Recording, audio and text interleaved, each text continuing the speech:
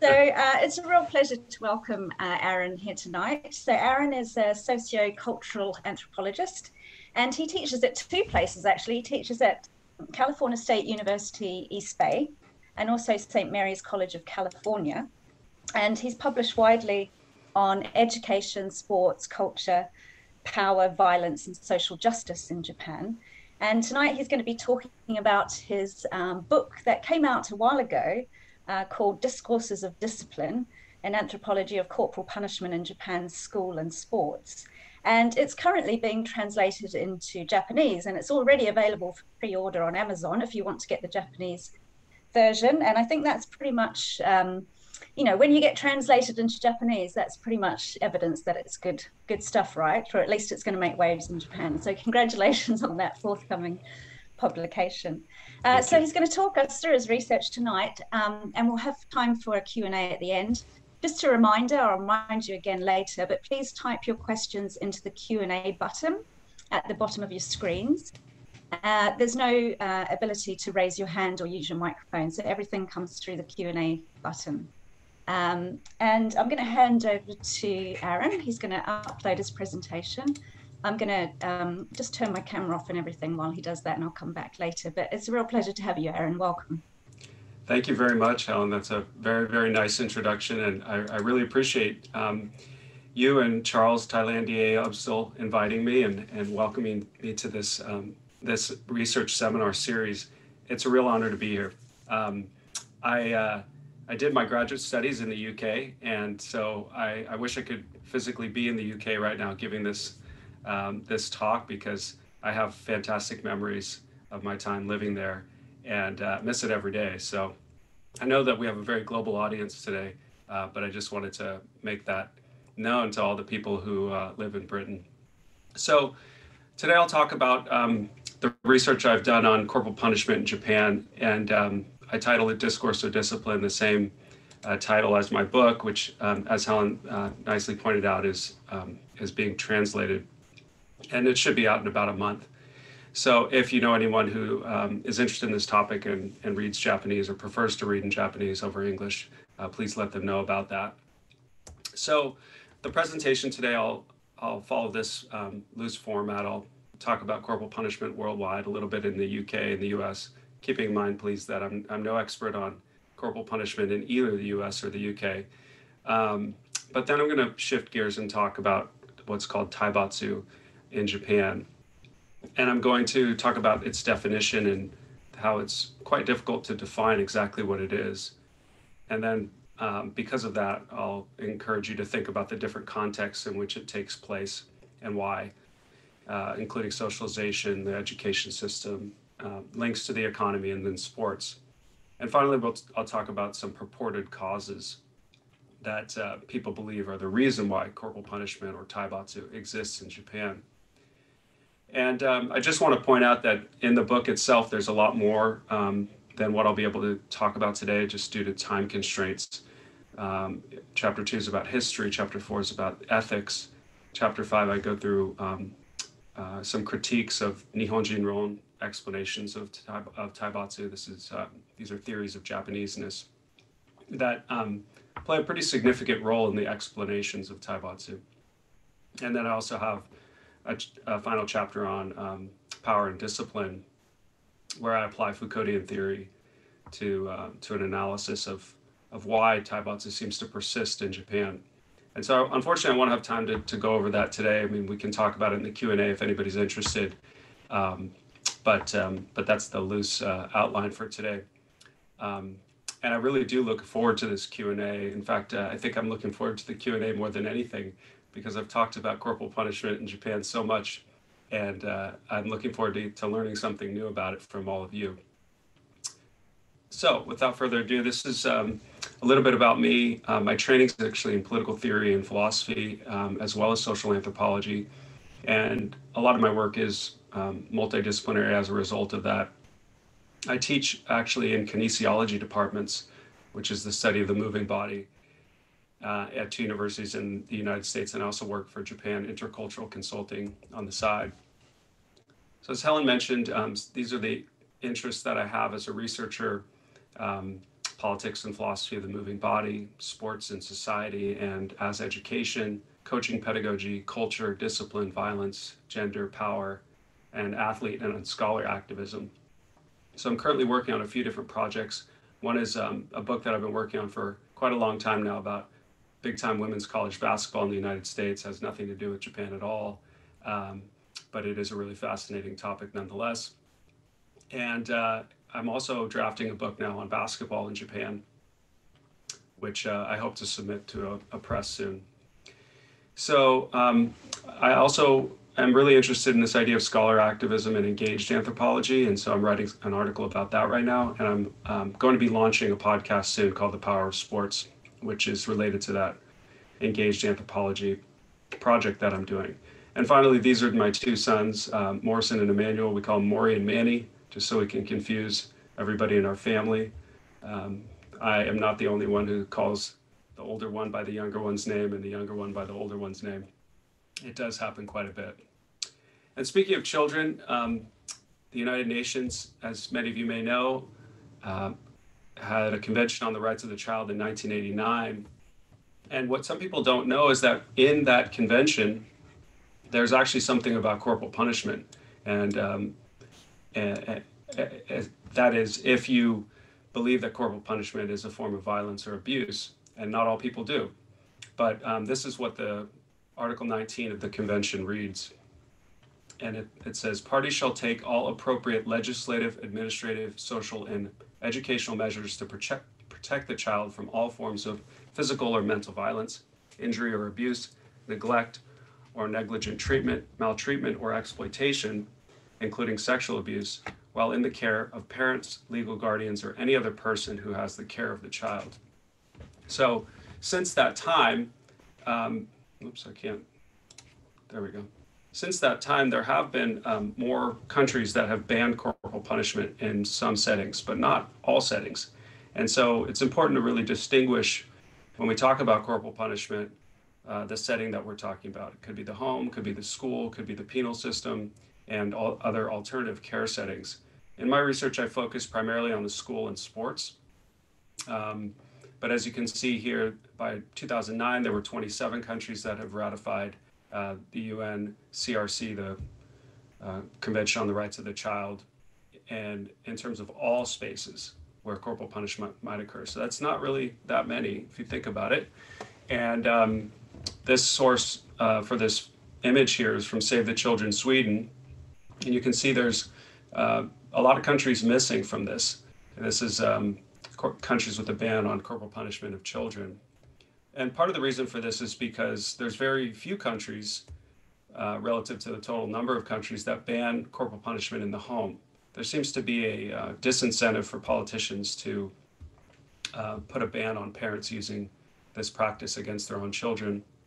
But schools are a different matter, often because they're funded by the state and there's uh, legal liability uh, that is uh, at stake. But um, it's important to distinguish between these two realms.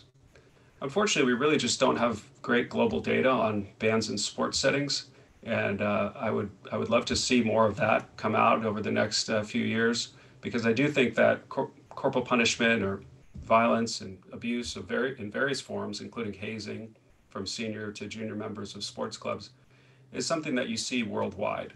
You know how much of a problem it is. Well, it's very difficult to say because again, we don't have great global data. Just a little bit about corporal punishment in the UK for some context. Um, corporal punishment is prohibited in all settings in Scotland and Wales. Prohibition is still to be achieved in the home, some alternative care settings, daycare, and penal institutions in England and Northern Ireland. But in other words, it is prohibited in the schools of England and Northern Ireland. And this is, again, a, the source is this um, advocacy group called endcorporalpunishment.org, which has a great number of resources if you're interested on corporal punishment globally, but they say that corporal punishment was prohibited in the UK in all state supported education in 1986, and the prohibition was extended to cover private schools in England and Wales in 1998, in Scotland in 2000, and in Northern Ireland in 2003.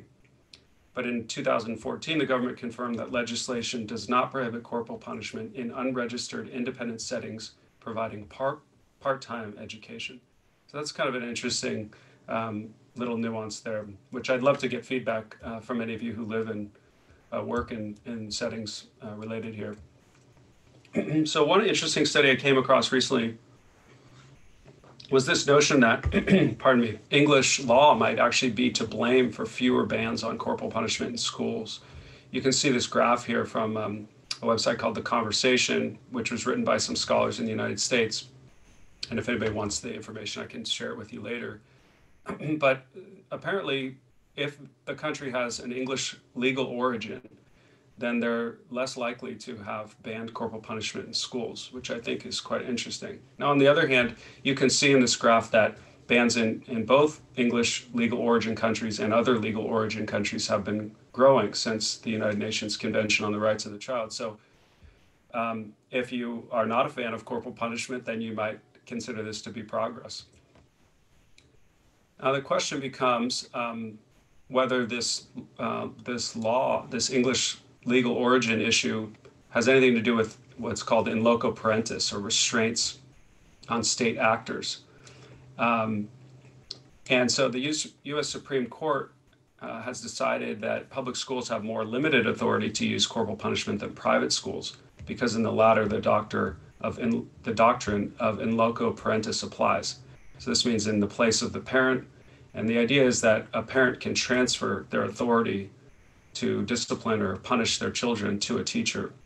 And I suppose that in a private school, if parents are paying a lot of money for their children to be there, then this uh, principle applies. But on the other hand, um, there is not the same right uh, transferred in private schools. So it seems that state law overrides a teacher's right to physically punish in some states, while in others, the distinction between public and private schools is essential in determining whether a teacher has this right and to what degree she or he can exercise it. And you can see this um, on this next slide. Just one second. Um, this is the next slide. You can see in the United States, there are uh, many states that happen to be known as politically red states that have legal corporal punishment uh, still in schools. But in many of the blue states, which are represented here in blue as well, pardon me, they um, they ban corporal punishment in schools. So I'll just go back here a couple of slides to show you um, this question. If English law is to blame, is it because of the principle of, of in loco parentis? Now, the corresponding phrase in Japanese is oya, oya no kawari, and uh, holds that you know teachers are stand-ins for parents.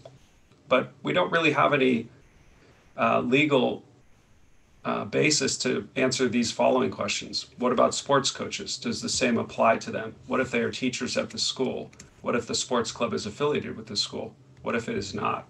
So again, similar to the data on um, prohibitions of corporal punishment and prevalence of corporal punishment in sports, we just don't know whether this right is being transferred to um, sports coaches or not, and whether it should be. So um, I find this really to be quite an interesting statement, uh, again, from this endcorporalpunishment.org, but they say there's no prohibition in the United States at a federal level in all public and private schools. In 1977, the U.S. Supreme Court found that the Eighth Amendment, which prohibits cruel and unusual punishment, did not apply to school students, and that teachers could punish children without parental permission. Just makes me think of Pink Floyd and um, uh, I forget the name of the song. Maybe it's another brick in the wall, but uh, this really does sort of feed into um, a distaste for schools that I think a lot of uh, American students have, which is unfortunate. But why shouldn't uh, students in the United States be um, covered by the Eighth Amendment, which protects them, should protect them from cruel and unusual punishment? I think that's a very strange decision by the US Supreme Court. Okay, so you can see here's another graph of the United States, and you can see where uh, there appears to be more corporal punishment than in other places. Again, really focused down in the southern region of the United States and a lot of states that are politically red. So the question is really why? Why aren't there more bans and why don't these bans seem to work, especially as I'll show you later in sports settings? It does seem to be the case that this kind of thing happens. And I think this New Yorker cartoon speaks a little bit to the answer. It says, you have a coach talking to young soccer players and saying, excuse me, football players, I have to know your audience. And uh, he says, and the way you kids kick ass today will speak volumes about the leaders of tomorrow you will be. So there's this really, you know, it's an unproven notion. Um, in fact, there's a, there's a book about this by Miracle and Rees um, called Lessons of the Locker Room, The Myth of School Sports. But there's this really unproven notion that uh, the way you play sports will um, show your leadership capability or your ability to um, to succeed in the quote unquote real world afterwards. And so sometimes this notion is is used to condone the use of, of violence, corporal punishment, um, discipline in various forms. So as uh, Ellen Helen um, noted, I my focus here has been on taibatsu or corporal punishment in the United States, but they're really not exactly the same thing. And I go to quite a lot of length in the book to try to figure out um, where one definition ends and where the other begins. And so um, chapter one is about that, and I'll talk a little bit about that here today. But you can see uh, the, the contents here if, um, if you're interested in learning more. So um, this was already mentioned, but this is the, the translation of the book, which you can pre-order. And um, I uh, just really quite excited uh, to see this in, in Japanese. I really don't, frankly, know why it's being translated into Japanese to comment on Helen's question um, or comment earlier, but um, I think Japanese people um, are often fascinated by what foreigners have to say about them, and it's probably nothing more than that. So I want to start um, with a short video, and I have to stop my share here. This is a trailer for a film that um, that I think uh, some of you may have already seen, but if you're interested in this topic, but um, bear with me as I pull it up here. Okay. Let me find my next slide here. So this film, um, you know, follows a, a, kind of a similar pattern to a lot of sports films. There's a kind of a story of, of an underdog making it to a, a tournament that they're not supposed to make it to and against all odds and the coach is often this kind of coach they're called commander style coaches uh, or meirei gata in japanese and uh, the players are implored to do what the coach says whatever it may be no matter how much pain no matter how much sacrifice and you can um, see even one of the players in this trailer vomiting during some of the training and uh, I hate to make a joke about it, but I wonder if the actor actually vomited or if that was um, something that they, they staged. But the, the idea is is so so prevalent in Japan um, in baseball at the very least. I think other sports are different, and so I want to make that distinction clear uh, right away. But I think the training is is very common in baseball because they have this national tournament called Koshien, and this is the tournament that this Okinawa team is trying to make. And Koshien, the stakes are just incredibly high. It's sort of similar to um, the NCAA basketball tournament here in the United States, and um, but it's high school kids, and so there's just this emphasis on education and training, and at, at any cost in order to make it there.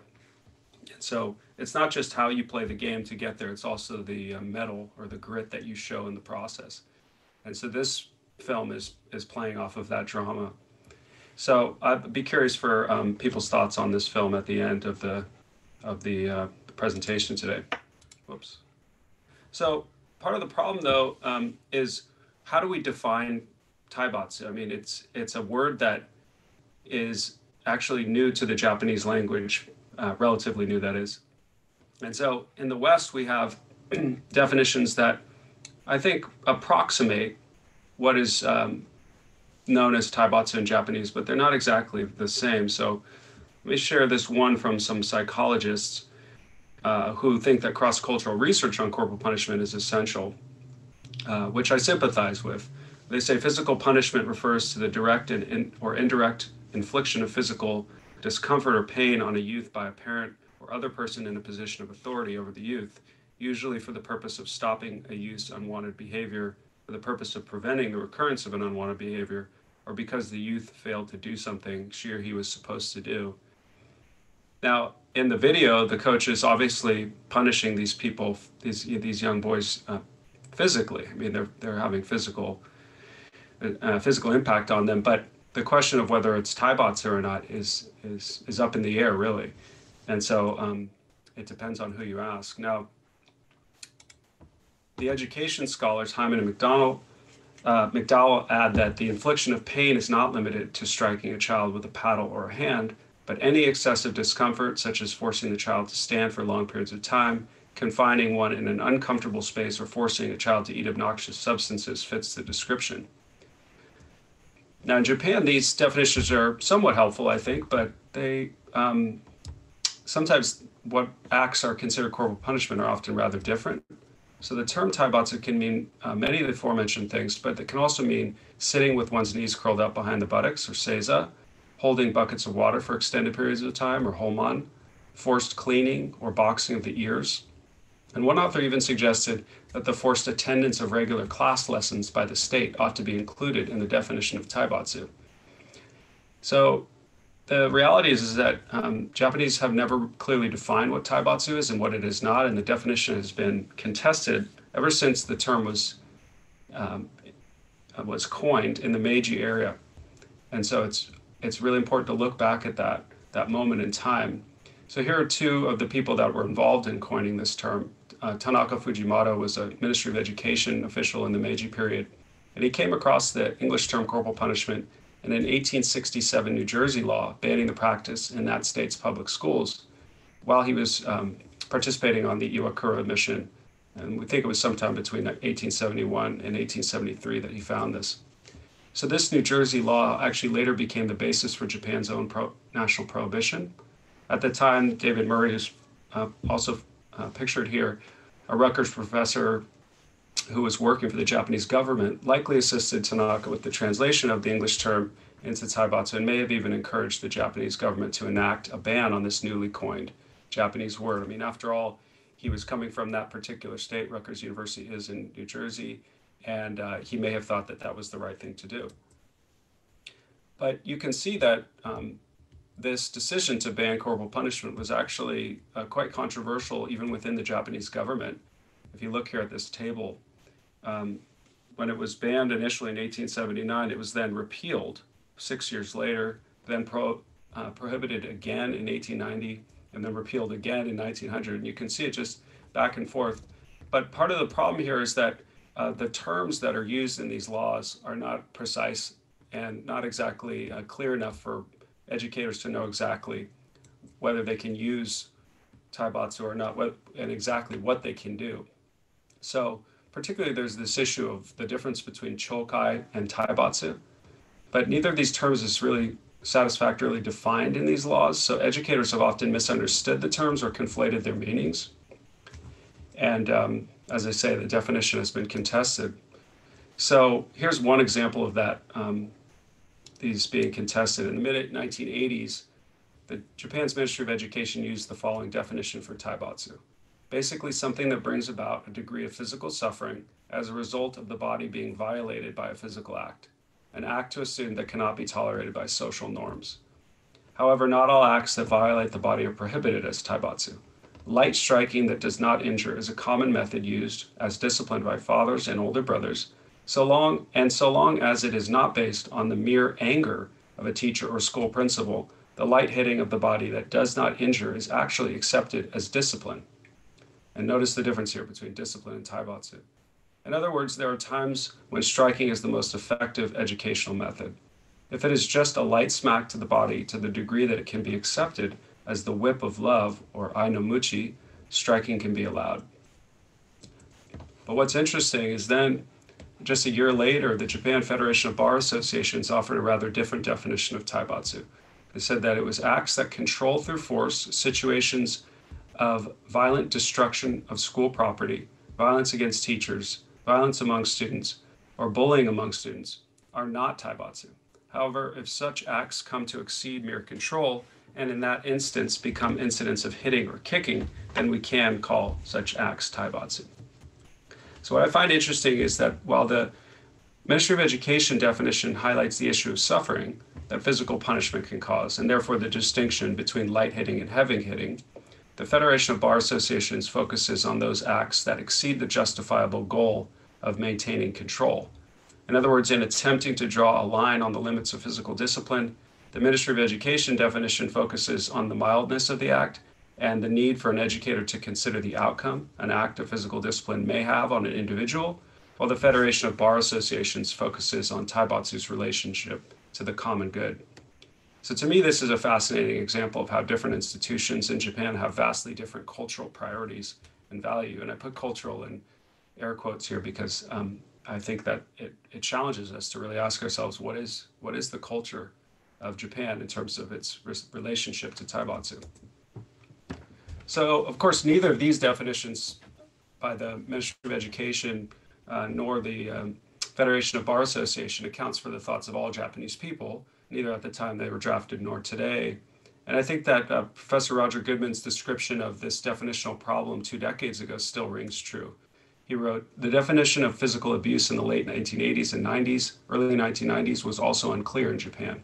Much of the uncertainty reflected by scholars related to the fact that the use of physical force against children was described using a number of different expressions taibatsu, corporal punishment, chokai, disciplinary punishment, gyakutai, abuse, and the more general term shitsuke, or training or discipline. So, opinion su- surveys suggest that the sorts of acts Japanese people consider to be taibatsu have changed over the years. Uh, for example, in 1986, teachers were surveyed and they were found to believe that taibatsu referred to all kinds of bodily punishment, hitting with a rod or something like it, kicking, punching with the fist, making a child sit in seiza for a long time, or slapping. But a survey from about a decade later found that taibatsu perceptions had changed. Now, punching with the fist and sitting in seiza for any length of time were considered less relevant to the definition of taibatsu, but slapping was considered slightly more applicable. So again, social norms are changing, and even the forms of discipline are changing as uh, time passes. So as a result of all this, the term taibatsu has evolved to connote very different meanings to different people in Japan, as well as very different meanings from the English term corporal punishment, which I think has opened up space for many discourses of discipline to develop. And that's really what the book is about. It's about how this has been um, a, a very contested term, and people have very different views of it based upon their different philosophies of education and sports training.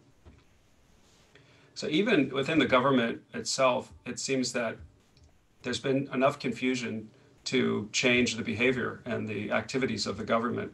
So in the early 2000s, I was following this issue and realized that they just stopped taking statistics.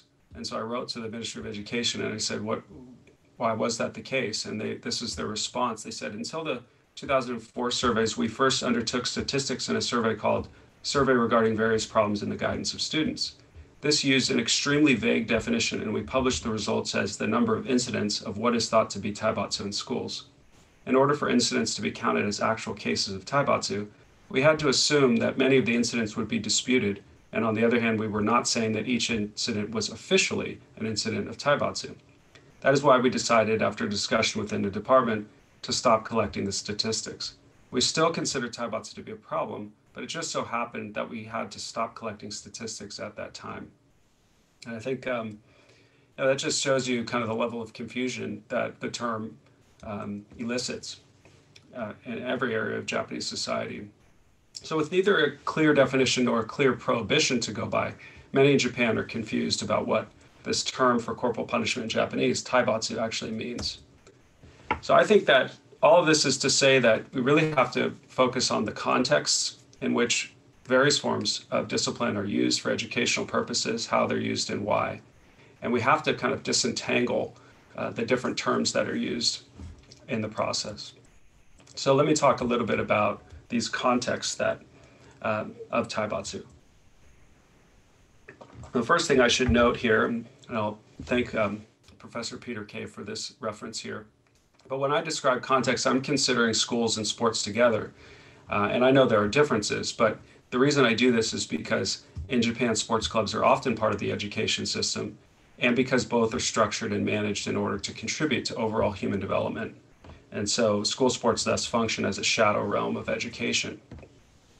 So officials at Japan's Ministry of Education believe that sports and physical education can build social character and foster moral education And the Japan Sports Association and various national sports federations also assert that sports should be, function as a part of school education and for character formation.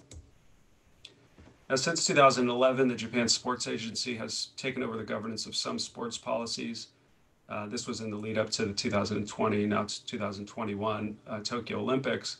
But as you can see here from this quote from their website, most of what they um, are in charge of is not related to sports as education. And my focus here, of course, is, is on that, that issue of how sports are used as educational tools. So the JSA aims to ensure all citizens with opportunities to play sport realize a healthy and longevity society, promote regional and economic revitalization through sport. And there, a, lot of this has to do with the Olympics, as I say. Um, there's three, uh, four goals here that they have in terms of the Olympics. But um, is still, and when I say MEXT, Ministry of Education is, is what I mean there, the Ministry of Education, Culture, Sport, Science, and Technology MEXT still governs national sports policy in Japan as it relates to education. And this is, you know, in some respects, um, globally unique. So sports um, were introduced to Japan when it adopted a new Western education system in the Meiji period. And they were adopted, spread, and controlled by and through this education system, both um, high schools like Ichiko and also um, universities like Waseda and Keio. And they're still widely seen as educational endeavors, and many youth in Japan play sports, and much is learned through them as a result. So you have um, these statistics from the Sasakawa Sports Foundation that suggest that, you know, almost every Japanese youth is playing some kind of sport or getting some kind of exercise on a regular basis, which, as an American, I have to say is is quite outstanding, um, because we don't have that same thing here in the United States. And um, almost half of young Japanese actively participate in a sports club of some kind, and most of these clubs are affiliated with schools. So the idea here is that these clubs, these school sports clubs, are said to foster uh, self-discipline, teamwork, and hard work among among other qualities. Now, the way that this relates to the training that exists in sports is that there's a perceived connection here between the training that one gets in education in classrooms that is and on sports fields and sports courts and then what what that will lead to so historically and when i say historically i'm talking mostly about this um, era between 1960s and 1980s a strong education system and a strong labor market established clearly demarcated life stages and transitions between these life stages for young Japanese people. If they did their schoolwork and they did well in their schoolwork, they could schoolwork they could expect to get a good job afterwards. And um, recently, this has been changing since insecure labor is more common than ever, as you can see from this graph here from Professor Genda Yuji. But there's much more um, ordinary, non-regular, and temporary or daily non-regular work um, in recent years than there than there was in the 1980s and before. And so you can't say that jobs in corporate Japan are as plentiful as they were. There's uh, not as much lifetime employment. There's um, the number of part-time workers has increased. And so there's this debate over how to restore Japan's economy to its once elevated status, and education and sports are both part of this debate. So the training in sports um, has quite a there's there's quite a lot at stake. So this is kind of a rough diagram of this process from school or sports to work transition. The idea is in classrooms you're going to learn cognitive, social, and emotional skills. You're going to practice them on the sports fields um, by learning how to do aisatsu and learning how to deal with uh, your senpai or your kohai in these um, senior to junior relationships. And then if you perform all of these functions well, uh, you can expect to get a good job and get along with others in that job. So the idea here um, is guidance or shido, which I think is a really key concept in Japan. It's this idea that there's a cultural value afforded to older Japanese helping younger Japanese, and the notion of hierarchy itself, which highlights Japan's honor for the experience and consequent wisdom of its elders. So, in fact, Shidosha is a popular way to refer to a sports coach in Japan. And by the way, I've always thought this is a really fantastic aspect of Japanese culture. Um, you know, for whatever that's worth, um, this kind of mentorship or guidance is, is not quite as common in my uh, home country, the United States. And I've always thought this is uh, quite a wonderful aspect of Japanese culture. But of course, there are challenges that exist in this education system. You have discipline issues, school violence, bullying, suicide incidents. Um, some adolescents refuse to attend school, and some even lock themselves in their room at home. And so, um, as a result of some of this, there were there have been over many years um, reforms to the education system that have tr- attempted to give young students uh, chance to breathe, more room to breathe. They call them the Yutori Kyoiku educational reforms. And one of the things that happened was they shortened the school week.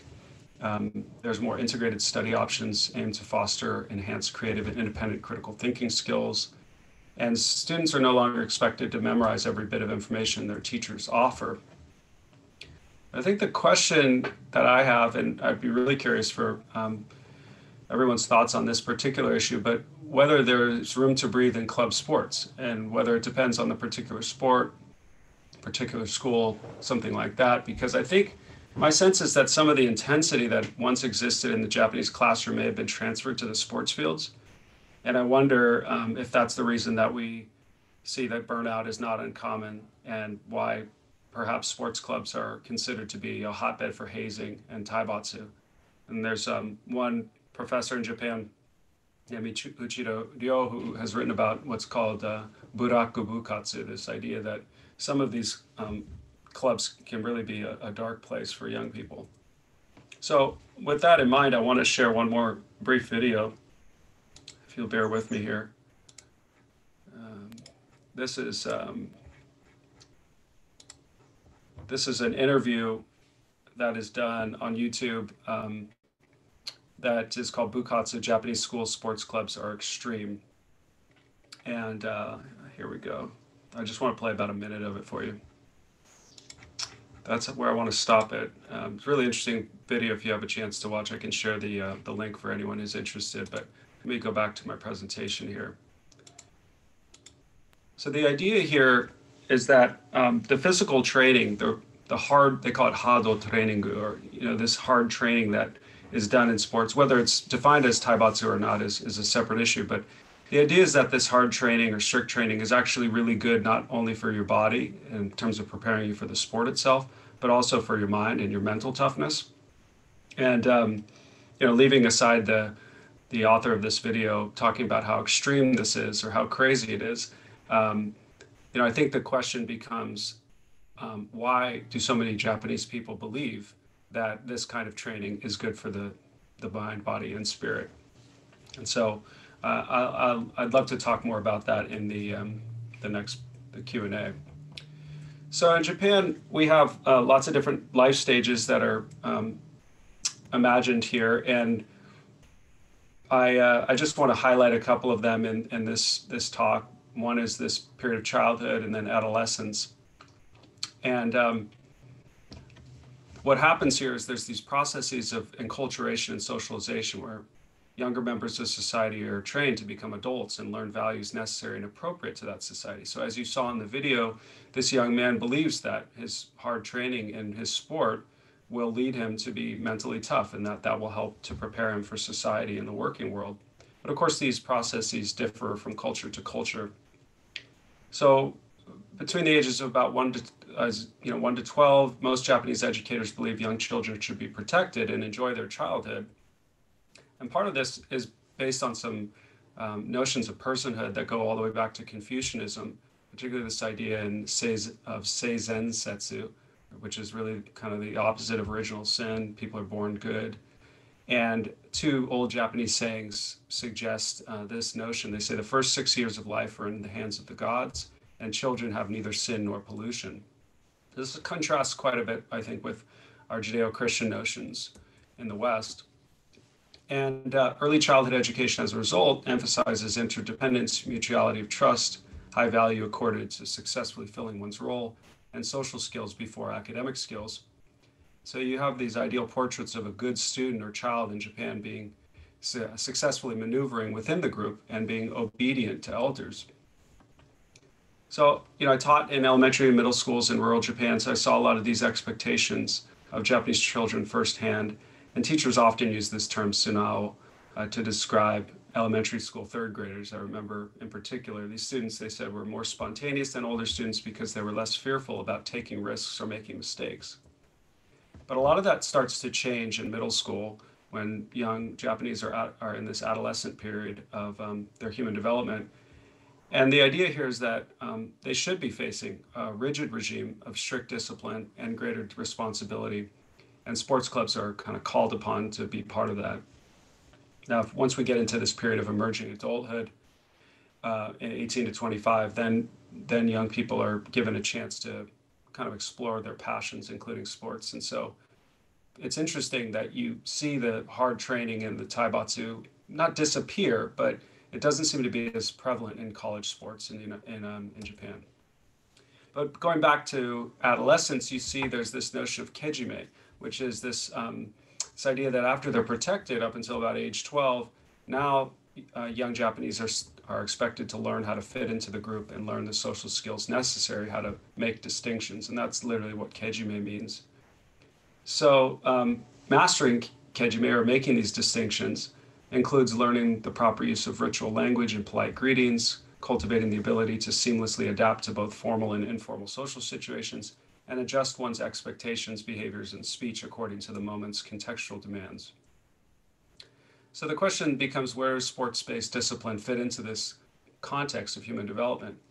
And I think that sports give young Japanese a steady social base, a family away from home, a sense of belonging, a structured daily routine, and a sense of accomplishment. Most of the young Japanese I spoke with embrace this opportunity and speak positively about their role within the team, even if they do not necessarily play in the games as much as their teammates. So here's one um, university student who has talked about um, being a part of the college sports team that she uh, belongs to. And I asked her about this idea of character development. And her answer was quite interesting because I wasn't talking to her about belonging, but basically she said, I strongly believe that my character was formed through sports. They often told us to be conscious of our position as XYZ university students. I think this is similar to Ningen Keisei. I think this transcends sports. Our coaches wanted us to be responsible in all of our actions. I think my character and humanity were formed by spending day after day with the same group of friends. So to me, it's this sort of social side to character building. You have to belong in order to build it, it seems, uh, in Japan. So in this context, discipline and punishment um, you know, fit in this way. Moral education and character development and Shido or guidance are often used as justifications for Taibatsu. And in fact, um, many uh, teachers and coaches uh, aren't punished for using corporal punishment, even though it's against the law, because I think they're excused by the government, excused by other authorities, because they're trying to morally educate, because they're trying to uh, achieve character development and guide these young people. And so Taibatsu is sort of seen as a necessary evil. Um, but, um, you know, that, that I think is a really uh, contestable idea. And so I'd be curious again in the Q&A to hear people's thoughts on that. So I want to check on the time. Uh, I think I'm probably about time, so we can talk maybe about causes and theories and things like that in the Q&A. Should I stop my share here, Helen? Yeah, that's great. Sorry, just bringing myself back. Not at all. I just don't want to. I don't want to talk too long. I've got I've got a lot of slides, but sure. Yeah. So um, just a reminder to everybody that you can type your questions into the Q&A chat, which you'll find at the bottom, the Q&A button at the bottom of your screen. So please don't use the chat button, put them into the Q&A button, um, just so they're all in the same place. Um, so fantastic. Thank you, Aaron. Um, sure it's great to hear actually that you're going to be launching your own podcast series, The Power of Sports. So, oh, thank you. Um, podcast series is something that really has helped me while I do my sort of obligatory daily lockdown yes. exercise because it's something to listen to and remind you know distract yourself from the fact that you're actually exercising. So do yes. send us do send us the details, and I'm actually Thank delighted you. to um, announce. Um, we're going to be announcing this formally, but I, I might as well announce it now that the JRC and SOAS have paired up with I've partnered up with a podcast series that's been running here in the UK during the pandemic called Japan Sports Series podcast. Oh, and great. it's run by Noel Thatcher and Mike Salter, who may or may not be on the call actually. Um, and it's a great podcast series focused in on Japan and sports. And uh, they are connected to the um, uh, the the handbook of Japan and sport that that we are doing, Aaron, and you're you're oh, you're very kindly giving us a chapter on basketball. So it's, yes, it's all those it's all those connections, which is really nice. So if I can give a plug for your podcast as well as the Japan Sports um, podcast, that would that would be great for anybody who's interested in sports related podcasts. Yes, thank um, you, Helen. Yeah, so that's really good news. So um, while we're collecting questions, I, I don't know if you remember, Aaron, but we first we first came into contact years ago when I was researching into um, the story of the women's volleyball team that I won do. gold at the Tokyo 64 Olympics. And I was, you know, particularly in, in that project looking at Daimatsu, who mm-hmm. some of you will know in the audience was the coach of that um, women's team. And I came across Aaron's work, obviously, on, on Taibatsu, and it mentioned Daimatsu as well. And obviously, um, you know, his his training regimes came into a lot of criticism at the time because of their intensity and severity. And of course, you know, it's not it's not exactly what you've been talking about because these were uh, you know, they were training for the Olympics at the end of the day. By the that's you know, right. this team eventually trained for the Olympics. So of course that's you expect a certain level of intensity in that training. But mm-hmm. nonetheless, they were young, not children, but they were young women and they were under the care of the, of the company because they were you know employees of the company. So there was a lot of criticism of their training um, both domestically but particularly by international observers who had come to watch their training ahead of the olympics. And certainly well it's been a few years since i've been observing um, high school and you know university college sports clubs in japan but that that intensity of training in terms of the number of hours that you have to put in all the time really was quite surprising to me at the time because it was train training almost every day, yeah. you know, hours and hours of training. And it seems to me from that video you showed that perhaps that hasn't gone away. Perhaps it's even intensified, as you said, because it's it's gone from classroom to flipping it onto the, the pitch or whatever, the gymnasium. So I just wondered if you could comment, you know, tai Taibatsu, the definitions that you gave doesn't include sheer volume of training hours or length mm-hmm. of training hours, but mm-hmm. nonetheless, that can be a really physical suffering, can't it? If training just goes on and on and, and the hours that you need to put in. Uh, so I wondered if you could just comment on that. But... Yeah, absolutely. Thank you, Helen. Yeah, I mean, it, the the amount of time that is is put into these clubs at, at really any level is um, is what I would think is what a, an Olympian or future Olympian would put in. I mean, the the idea that um, there's sort of a moment in time where an athlete becomes someone who is training for the Olympics I think might actually be kind of a flawed one, uh, yeah. not only in Japan, but also in the United States. I mean, when you talk to young kids in the United States about um, why they're training so hard, um, they could be eight years old and they say, I want to play in the NBA, right? Or, you know, I want to play in Major League Baseball. So um, there's this notion, I think, that that that sports um, are for this, you know, this greater ultimate purpose of some kind. If it's an Olympic sport, it's the Olympics. If it's you know, a sport that's not played in the Olympics, maybe it's the Super Bowl or whatever it is. Um, and so the training is just, it's intense because there isn't really a notion, at least in the United States and Japan, I should put a caveat in there. There isn't really a notion of playing sports just for fun's sake. And in fact, I've worked with a sports psychologist here in the United States for many years on a program that, that, that attempts to do just that, to, to help young kids play just for play's sake. Um, because a lot of young people burn out because of mm. this hmm. intense training, these long hours of training, and they don't see the point. And that's really a problem, not just for that individual, but also for the society because it can lead to sedentary lifestyles and that can lead to obesity and other health problems. So I think that the uh, the fun of sports, which is obviously why I started researching these topics myself, uh, should be reemphasized in some capacity by all educators, by all sports coaches. Um, but oftentimes it's the players themselves that are very intense in the training. They really want to win. And this is just a, a phenomenon of sports. You know, young people don't necessarily have the same kind of intensity or the same kind of motivation in their schoolwork that they have in sports because I think there is something inherent in human beings that we want to get better at things. We want to master things. We want to win. And, and consider ourselves to, to be the best. Um, and so it, it, all sort of plays into the same the same thing. But I'm not sure if I answered your question too well, but um, yeah, no, I think, I think you have. I mean, the, the, hours of training is is still quite a focus, isn't it, in, in sports clubs? And mm-hmm. I, I, guess this is a, going a bit off topic, but player welfare is mm. is a big thing now in the UK and I'm sure yes. in the USA as well and particularly for professional sports you know the issue of player welfare including you know how often they play professionally how often they train you know the the long-term impact on the body I just wondered if player welfare was something that was um, is being talked about in Japan as well whether at the professional leagues or um, not to my knowledge, not as much. I mean, I've written a little bit about this actually with a, a colleague of mine named uh, uh, Nakazawa Atsushi. He's a professor at, at Waseda, and um, and he knows far more about this than I do. But um, but we've written about it together for some some global handbooks on sports um, welfare and athlete welfare. Uh, the the sense is that um, it, things things are changing at a certain level. You know, a, a policy level. There are certainly a lot of intellectuals in Japan who want to see more player welfare. There's certainly a lot of you know policy leaders in Japan who want to see more player welfare. But I think the problem is how does that trickle down? You know, one example that I found in my research is, is with this issue of sports science. Sports science is a way of, you know, ensuring that there's not only training, but there's rest and recovery, mm. which is also important, an Absolutely, important part yeah. of, of growing as an athlete. You need to rest, you need to recover.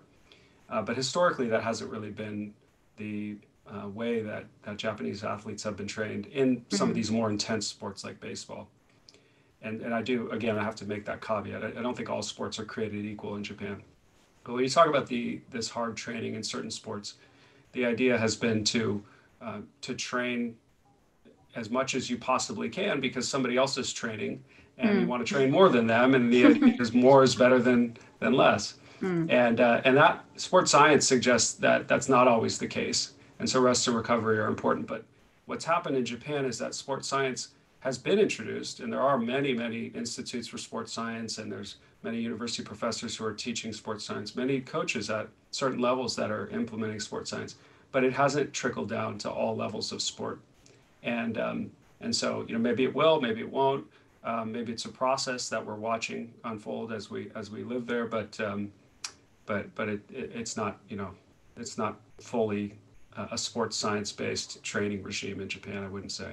Mm. Okay, I'm just going to go into the chat. Um, by the way, the, the video trailer, the man who changed Okinawa, where can we watch that? Where can we? Yeah, let that? me let me send the uh, let me okay. click. Brilliant. Let me share those links in the chat Brilliant. box with everybody. Okay, thank you. Of course, I'll I'll share both of these videos actually.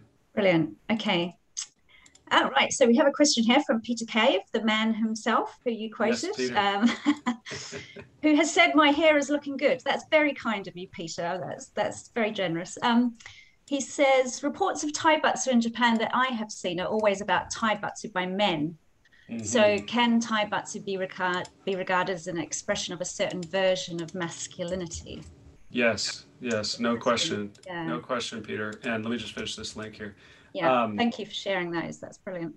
Yes, of course. And um, yeah, thank you very much for the question, Peter. I, I, I, appreciate it. It's something I've thought about quite a bit, um, especially since I've been doing more research on uh, women's college basketball in the United States. There is a, um, you know, I haven't written compare, I haven't written anything uh, that compares the case of Japan to, to the U.S. yet, but I, I, I hope to someday. Just taking a long time to do it the right way. But um, because it's sort of comparing apples to oranges. But to your question about masculinity, I definitely think Taibatsu is um, a reflection of a certain kind of masculinity that, uh, and in fact, let me share one slide so I can um, credit one Japanese scholar whose idea this is. Um, let me just pull back my PowerPoint just a moment, please. Because this will answer your question better than I can, Peter. Pardon me, I'm not too too good with Zoom. You'd think I'd be better. We've been locked down for a year. You'd think I'd be well, no, but we, we, you know, it's still technology, isn't it? it is. It is. Okay, so um, so this is part of the, the section of the presentation on causes, but I just will skip ahead to um, to let's see, yeah, this one. So this is um, mm. Nakamura has this idea that there's a reliance on taibatsu in sports because of a samurai ethos, this idea that um, which values modesty. So he says that Japanese are taught to be modest when they play sports, and that taibatsu is one means to teach this modesty. And I think this relates to this other issue, which I find really interesting, and I really would love to hear Peter's thoughts on this, maybe others as well. But um, you know, Ember and Ember wrote a paper in 2005, I think, um, where they compared data from all across the world on corporal punishment. And they were trying to find out what were the specific factors that led to a higher likelihood that a country had corporal punishment or not. And one of the things um, that they said was that there would be a, an alien currency. Let me put it back one more slide. Um, a power inequality, presence of social stratification, high levels of political hierarchy, polygyny, non-relative help with caretaking of children, and, and, high society and societies with high rates of warfare or societies using an alien currency. These were the factors that they, they found in their cross-cultural analysis that would predict corporal punishment being more prominent or more prevalent, I should say. And so um, the, the issue that I kind of latched onto with this paper was this issue of, of a foreign colonizer. Because, of course, Japan is famous for not having been officially colonized um, during the period of colonialism. But on the other hand, if you think about Article 9 of Japan's post-war constitution, which was um, you know written right after World War II, and and uh, you know the the intent of it was to prevent Japan from ever waging war like they had during World War II. Um, you might say that Article 9 effectively does the same thing, and maybe there's an, a notion that um, some in Japan, particularly men, might feel colonized, and that taibatsu might be um, more prevalent as a result. And you know, this is perhaps a stretch in, in logic on my part to suggest this. So I, you know, I don't want to make too much of it, but I, I would be curious for others' thoughts on this because I, I think it's very provocative. And you know, so Nak- Nakamura's idea is that um, taibatsu forms submissive, or excuse me, that um, that there's a lot of taibatsu because Japan feels like a colonized country. And Sanuki kind of says something similar. He says taibatsu forms submissive personalities that always follow the existing order and never complain. So it, it, it creates a certain kind of um, hierarchy, which I think um, I think it furthers a, a, sort of samurai masculinity. This idea that there's an order to things, that there should be um, time and grade. There should be rank. There should be men with power over women. I do think that's a form of masculinity that's probably furthered, but it's probably done so on an unconscious or subconscious level. I don't think um, you know anybody's thinking about it consciously. Hmm. Interesting. Okay. Actually, the, the, the samurai um, mention is interesting. I've actually come across the mention of samurai a couple of times in my research on rugby, and and and thinking about saying that you know rugby is such a masculine sport and you need to be a warrior and you need to be mm-hmm. a samurai so it's interesting the mention that you made of it there um, mm-hmm. uh, and I, you know, it is it is a sort of seen as a masculine sport. Although apparently women's rugby is the fastest growing sport in the world at the moment. So there you go. Is that right? Right, time for changing.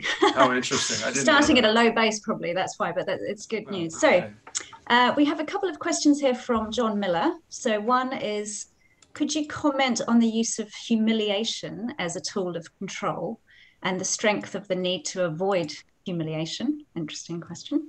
Mm-hmm. And his other question is, um, well, linked to what Peter was asking, really.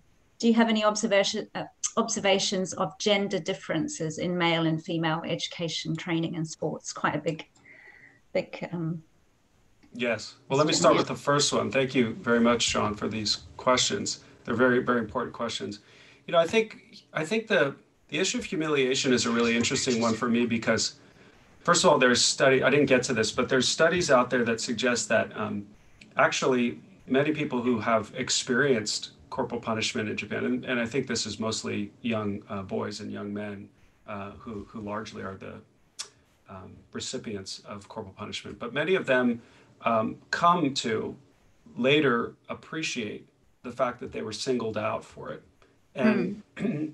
this was one of the more um, vexing issues that I dealt with in the paper, in the book, and and part of the reason why I ended up going to use Michel Foucault's theory of power to try to understand why, um, which you know we can get into later if anybody's interested. But I think I think the issue of humiliation sort of depends upon it presupposes the notion that that these young players are humiliated, and I certainly think in some cases they are, um, and especially if it's the case that the educator is using corporal punishment out of rage or anger, and it's not being used in sort of a systematic way. I absolutely think there's humiliation there, even if they maybe aren't able to admit it.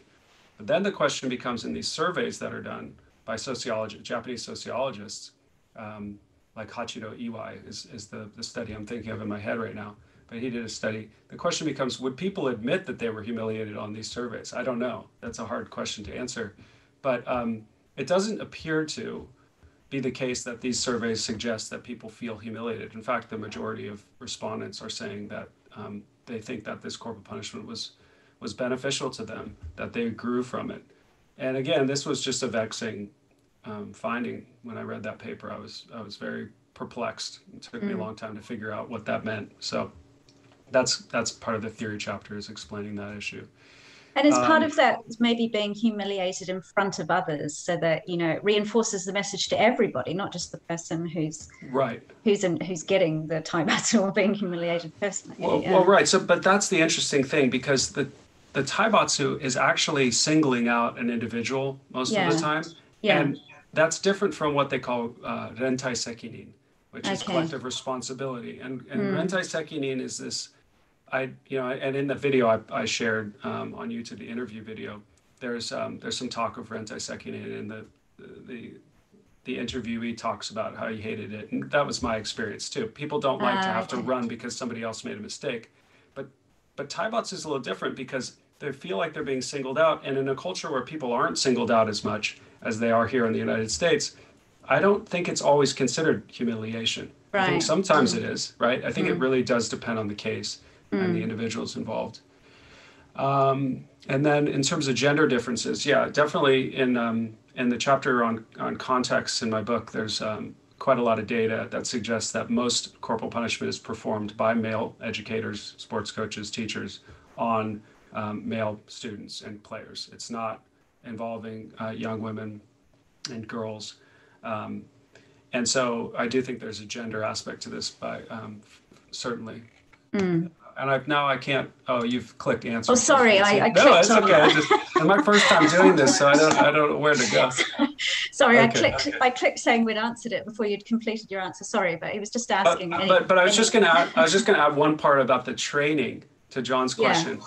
because I think like if we're not talking about taibatsu, but we're talking about training in general, I, what I, one of the things that I was really fascinated um, with when I did my field work with the University Basketball Club, which I was watching both the men and the women, and um, the intensity of the training was no different between them. I mean, it was, you know, and we actually just had something here in the United States become a, a big public controversy over this.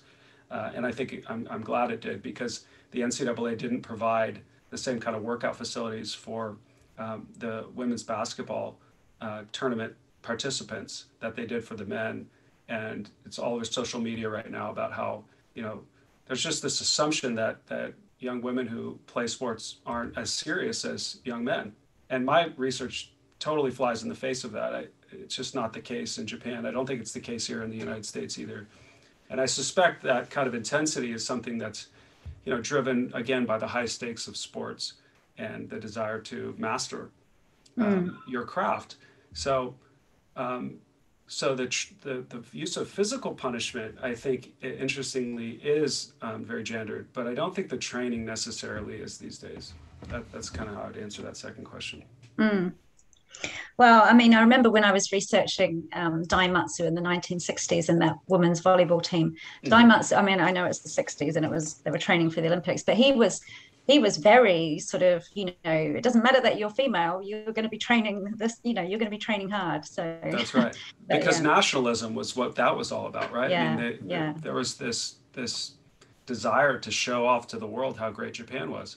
Yeah. And and that particular team and you know they did end up doing that for many japanese people mm, um, particularly because of you know kaminaga losing in the um, the final, the heavyweight judo final to that to afternoon. Yeah. yeah. yeah. So, yeah. So that was that was a, a moment where where nationalism was sort of validated in sports, and I think ever since, um, you know, sports have have continued to be a very important realm for the expression of Japanese nationalism mm. on an mm. international stage. So. Uh, well, that kind of leads into our next um, question from Fabio, um, Fabio SOAS colleague. Mm-hmm. He's apologizing for coming in late, may have missed a reference, although I don't think he has. Um, he's asking about the martial arts aspect of this kind mm. of training. So wondering where the idea of seishin, whether it comes out of the Bakumatsu period, where um, the, where in the martial arts techniques were replaced by drills that were meant to foster willpower. So something very obvious in Kendo, for example, yes, pointing yes. out. So yeah, asking about asking about that. Yeah, that's a that's a fantastic question, um, Fabio. Thank you for for asking it. Um, you know, I'm, I'm no expert on the martial arts. Let me just make that caveat. Um, I've never done them. I don't, uh, I don't claim to have much knowledge of, of, of, the martial arts. But from what I understand, based on what others have researched, um, the martial arts ideology has been um, uh, in, incorporated into sports training in Japan in certain sports. Mm. Again, we're talking about these, you know, sports where masculinity is a uh, uh, masculinity and hierarchy are are large cultural values and so sports like baseball and um, perhaps rugby, I don't know. Um, you know, not I haven't seen it quite as much in in basketball in my research in basketball, but um, is is an ideal um, is an idea that you know even if your body isn't strong enough, your will can overcome. And um, one of the themes that I'm exploring I've explored a little bit in a paper I wrote a few years ago, but I'm, I'm further exploring in this new book about basketball in Japan is this idea of, um, you know, the body, mind, and spirit in sports. And in basketball, you know, part of the problem has been that the height is 10 feet tall and Japanese players don't grow to the same heights as players from other countries. And so just when they step on the floor, they're already at a physical height mm. disadvantage. It's talked about a lot, isn't it? Yeah. Yeah, and it is talked about a lot to the point where this expression uh, "retokan" is used, which means like a sense of inferiority. Mm. Um, and I think that the flip side of that is there's a lot of rhetoric in Japanese basketball about how they can overcome this feeling of inferiority and they can succeed in basketball if they just train properly and if they train not only the, the body but also the mind and the spirit mm. at the mm. same time so i mm. think seishin is a big part of this um, and uh, but you know but whether it's um, the, the exact kind of seishin as was expressed in the martial arts in the pre-modern period i, I cannot say uh, mm. i think mm. i think you know somebody like um, Professor Sogawa Tsuneo at Waseda, he would probably be somebody to ask about that. Um, I'm sure I'm sure Professor Cave could answer that too, but mm-hmm. um, but I, I, don't I don't know the answer to that question. I mentioned the handbook of sport in Japan that we've got coming out, um, and uh, which you are doing about basketball, chapter four. Thank you. But there's a there's a companion handbook coming out separately on martial arts, actually, just focusing in on martial arts. So and uh, eventually that will provide a nice resource. So I'm sure they'll be talking about these types of things in, in that one. We don't have to worry ourselves in our book, martial arts, thankfully, because none of us are experts. Um, another question here from John Miller. Um, did Taibatsu have a strong role in forming the attitude the Japanese military had towards the treatment of prisoners mm. of war? Interesting. Yeah, John, another another uh, great question. I would have to say um, that like the last question, I don't think I'm qualified to answer that. But I will say that Taibatsu was used, um, by all accounts, pretty uh, um, prevalently uh, during the uh, the war among uh, Japanese soldiers within the Japanese Imperial Army, and um, and then later after the war, uh, there's research by um, a professor in Japan called Morikawa Sadao, and he he found that a lot of the former soldiers from the war would then become physical education teachers and then sometimes would become principals of schools. And they would be the ones to be called taibatsu kyoshi or physical or uh, physical punishment or corporal punishment teachers. And so i think that the militarism uh, that sort of stayed in japanese society in the post-war period was reflected in the mm. ideas and the actions of some of these these teachers um, but as far as how that led or if it led to the treatment of prisoners of war, I, I really can't say. I don't. I've never. I've not seen anything directly on that, but mm. that doesn't mean anything. Um, yeah, there could be something out question. there. Yeah. That, those those military connections are really interesting, and, and again, coming back to um, Daimatsu, the coach mm-hmm. of that of that, he had been a soldier in the war. Obviously, right. he was that generation, and and obviously impacted by his experience of being a soldier. And he he often used the word konjo, that mm-hmm. which you know that you need a fighting spirit but i guess it often gets translated again like you said as grit or, or guts or willpower you know so but he he sort of that arose out of his wartime experience that that attitude yeah. to why you must endure you know, the heavy training sessions yeah and uh, yeah and i th- i think i think konjo i mean it's a difficult word to translate but um but fighting spirit does make the most sense to me yeah um and i do think it is related to militarism uh, undoubtedly yeah. Good. I'm glad you said that because that's how I translated it as. So. yeah. Well, you know, I mean, I'm no expert yeah. on the term, but that's how that's how I that's how I think of it. Yeah. Um, another one from Peter Cave here. How common are reports of something similar to Taibatsu in school or college sports in the US? Mm. I'm wondering to what extent, if at all, intense competitive sports in itself tends mm-hmm. to lead to Taibatsu. For example, one recent report in the Asahi uh, mm-hmm. newspaper on Taibatsu was about the British national gymnastics team. Mm. Yes. Peter, thank you for that question again. Um, I absolutely think it's a function uh, of the intensity of these sports um, training and competitions because it isn't something we see only in Japan. And one of the things that I take, um, uh, you know, I was very careful in my book to say is that this isn't a Japanese phenomenon. This is not something only unique to Japan. Mm. And, um, you know, in the United States, taibatsu, or taibatsu, corporal punishment is, is, is very prevalent in the South, particularly in these states that um, where football is king. We call it, we say football is king, and these they have big college football programs. Very, um, you know, everybody goes to the football games. Probably more go to the football games than they go to church. Um, football is everything in the South, and and physical punishment in various forms, whether it be you know running or um, you know actual abuse by coaches um, is is I think you know more common than you would you would think, and so the question, of course, that you're that you're asking is is it related to this intensity and and this, the high stakes? I absolutely think it is, and you know, one of the things that I'm trying to do in my career is to remind people of why sports are so popular in the first place. Mm. Sometimes we forget sports become that they're initially about play, right? When we're when we're kids, we just play. We just have fun doing them. We just kicking the ball around. I've got 2 mm. little boys, and they just love playing soccer, just kicking the ball around. They're very cute, by the way. That photo you well, thank showed. you. I'll like, give all credit to my wife.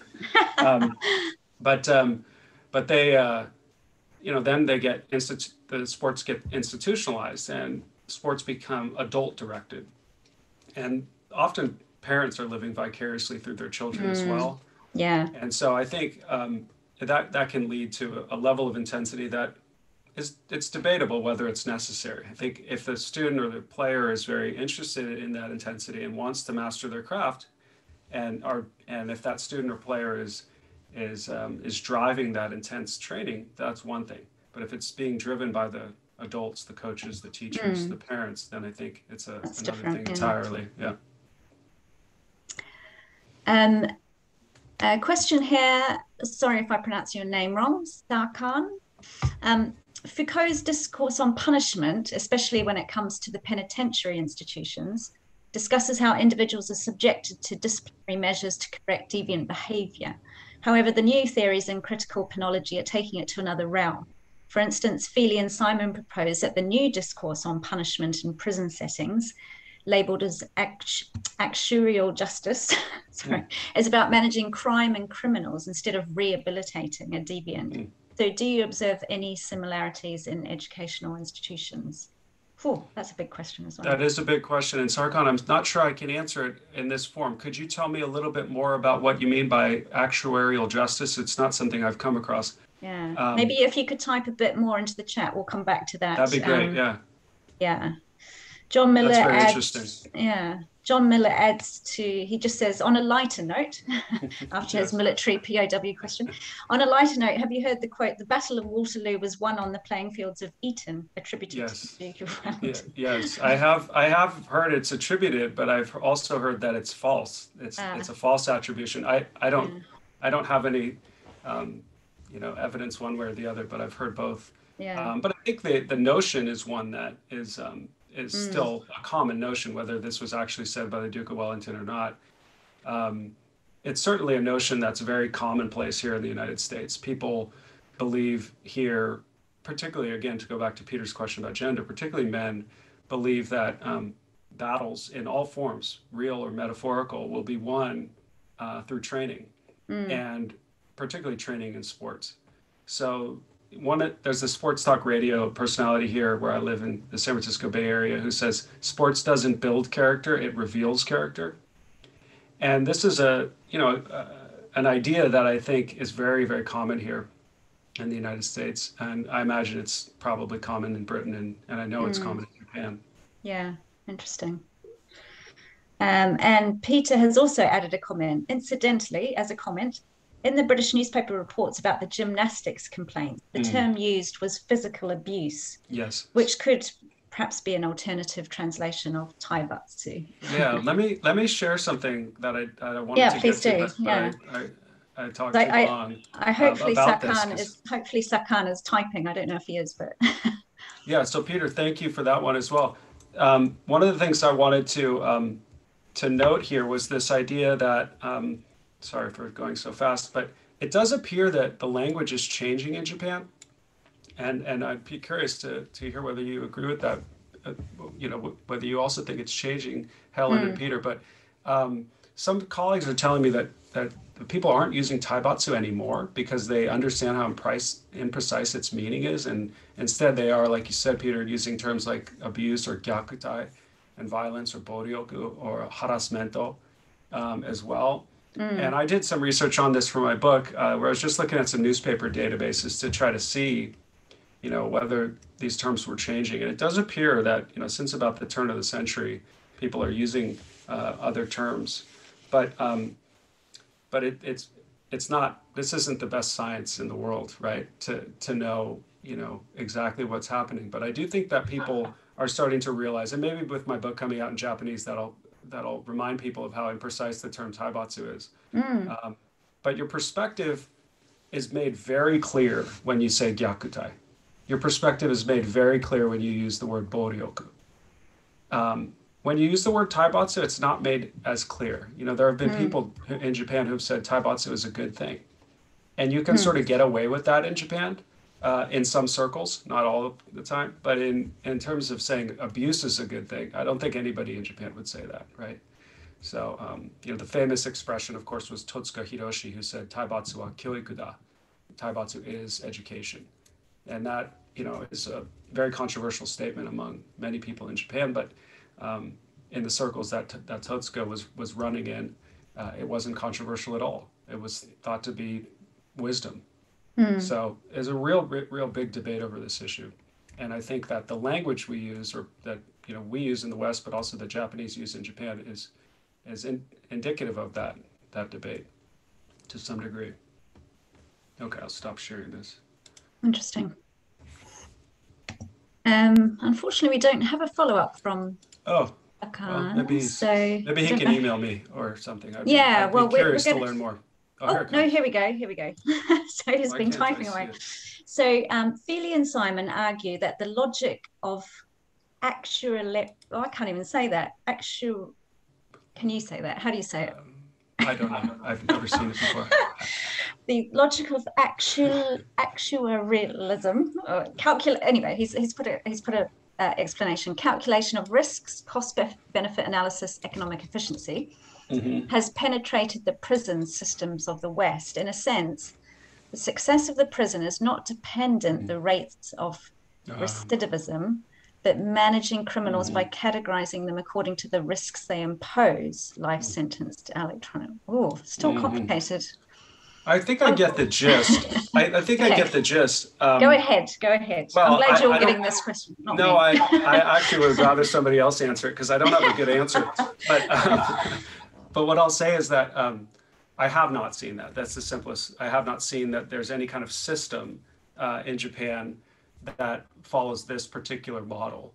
Mm. Um, and and I do think that that's not that surprising um, if, if I'm right, you know, my observations aren't the be all and end all, but um, but if I'm right that that this isn't being used in Japan, I don't think it's that shocking because, of course, criminals uh, who are sentenced to prison um, are considered to be in a different category than students, um, and so there, while there is some similarity in terms of being forced to go into a school and being forced to go into a prison, the reasons for being forced to do both of those things are very different. So I think it's very important when we look at corporal punishment to be clear on the realm that we're looking at. Um, because deviance and deviant behavior really does depend on the context. Mm. Well, we can certainly. Um, so I can't put you in touch with. I'd if you can't, to, yeah. if you can't find Aaron, Google him. If you can't find him, we uh, just uh, get in touch with us, and we can put you yeah. in touch if you'd like to continue this. Clearly, this I'd is an to, area yeah. of your Thank specialism you, that we're not quite can't quite get to grips. With. One with. thing. Oh, and one thing I would say that Sar- Sarka might take a look at is Botsman's book. Um, uh, forget the first name, Botsman's book, but um, but B O T S M A N um, mm. on um, on corporal punishment and, in penal realms. That might be an interesting book for you if you haven't read it already. Great. I'm just going to take one final question because I actually have to whip into another seminar at 6.30. Mm-hmm. Um, Heather Jockins, um, SOAS alumni, Japanese mm-hmm. MA, welcome Heather. Great talk and one I'm interested in as a fan of sumo, which has even of even of late had controversy surrounding mm. hazing and the use of corporal punishment in the sport because it's a sport where a person can go on to take on the tradition where a person can go on to take on the traditional life in the professional sport from a young age, especially since the Japanese Sumo Association is under MEXT, have these definitions of taibatsu crossed over with consideration to this kind of murky area? Um, let me try to understand the question. Yeah, well, sumo, sumo is a very different sport, isn't it? Because you get you immerse yourself, you be, you become a you, you can go into the stables, don't you? And you become mm-hmm. a sumo. But learning to be a sumo, you have to do a lot of let's face it, dirty work to begin with, don't you? But there's well, definitely. I actually, yeah, no question. I mean, I actually start the book with um, three different stories of Taibatsu, and one of them is the story of Toki Taizan. So if you get a chance, um, Heather, please read that that um, section of the book um, because Toki Taizan was a, a, tragic story of a young sumo wrestler who was hazed and beaten and to the point of death. And, um, and we're not talking ancient history here. This wasn't many years ago. Um, and so there's definitely, you know, overlap um, in some of these ideas in terms of uh, physical training and physical uh, punishment, arguably physically physical abuse. There's definitely some tra- um, some overlap between these other sports uh, that I've been talking about today and sumo. But, um, you know, I think that it's, it's tough for me to, um, I'm, t- I'm trying to understand the question itself because it's, mm. it's a sport mm. where a person can go and say, these definitions of taibatsu crossed out. I can't actually see the whole question. Can you read it one more time? Um, so I think she's saying that because you can sort of start your training or life mm-hmm. as a very young age, and right. it comes and it comes under the and it comes under MEXT as well. So I yes. guess she's asking whether it's a grey area, whether whether whether. yeah, I mean, in the Toki Taizan case, it was it was a gray area. The question of whether the incidents mm-hmm. that took place, he was beaten with uh, beer bottles. Uh, I remember, and um, mm and the question was, was this Taibatsu or not? Because it took place between uh, sumo wrestlers. The senior members of his stable were mm. apparently the ones that inflicted the the um, the abuse that led to his death. And so I do think that that question of whether it's Taibatsu or not was was the considered to be the important question among Japanese people. Mm. Um, so yes, I do think that um, the the definitional murkiness, as you say, is, is common in sumo too. Yeah. Um, Yeah. And and it's the national sport, right? It's the koku, Yeah, yeah. So there's a lot at stake there too. Even if it might not be a World Baseball Championship or uh, World Baseball Classic Championship, or maybe it's not the Olympic Games or Olympic medal. Mm. Um, sumo wrestlers ultimately are going up against non-Japanese sumo wrestlers, so there's nationalism involved there too. The stakes are very high Mm. there too. Yeah. Yeah. She, uh, Heather has added, we got it. She she didn't mean the question to come out weird. But, Okay. well, thank okay, you. I'm Thank sorry. you, Not Heather. I was, I was going to say, Heather. I was going to say, if you're not satisfied, we could put you in touch with each other, but it sounds like you're I'm satisfied. So thank you for happy, the happy question. to answer anyone's questions. Yeah.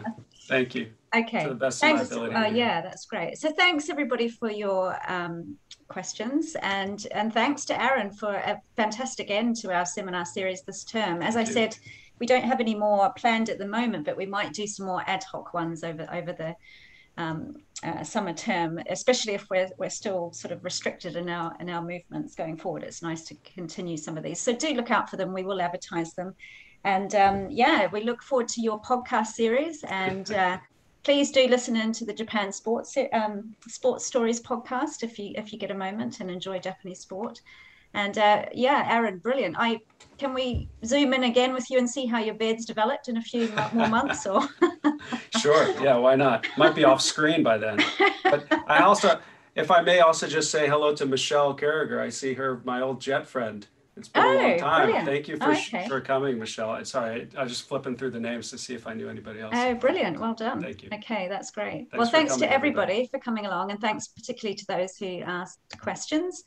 And uh, and and it's brilliant to see you, Aaron. And next time we'll get you to London. And yep, she's replied there. Hisashiburi. It's Um, next time we'll get you to London and we'll be able to go out. Hopefully the pubs will be opening again in the Oh, not too distant future. and We'll I take you can't out. tell you how much I look forward to that. That would be great. I can't tell you how much we're all looking forward to I'm that. sure. Yeah. I'm sure. okay, thanks very much, everybody, Thank you. and uh, thanks, Aaron. It's brilliant. Go back to those you. lovely boys. I will. Thank you all. Have a nice day, everybody. Good night.